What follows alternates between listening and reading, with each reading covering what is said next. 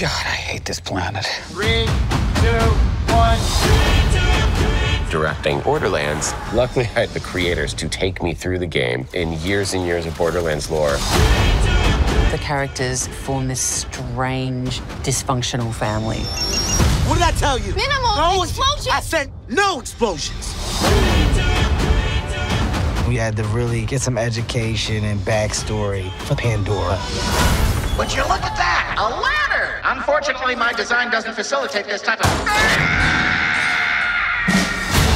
I am so psyched to be portraying Claptrap, the legendary robot. Ah, step aside, bitches! It has pathos, it has humor, it has a lot of action.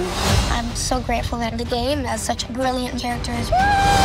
In order to create such a crazy world, you have to bring a certain kind of craziness to the table yourself.